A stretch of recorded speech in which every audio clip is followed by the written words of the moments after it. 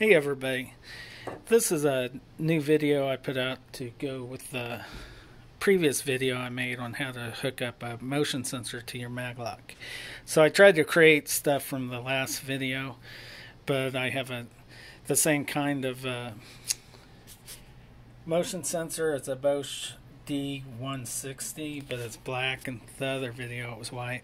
And instead of a battery, I got a AC adapter, which is a 12 volt, 5 amp adapter.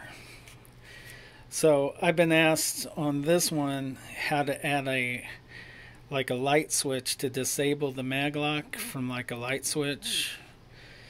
So what you do is, uh, in order to do that, you can refer back to my previous video, and I'll put a link in the comments.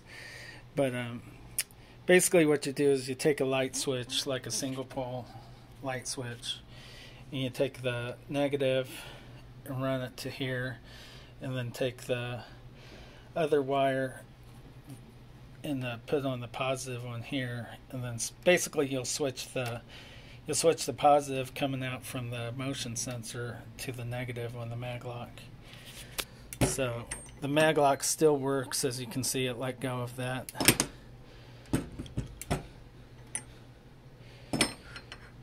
And so now we'll just test the light switch. As you can see, even the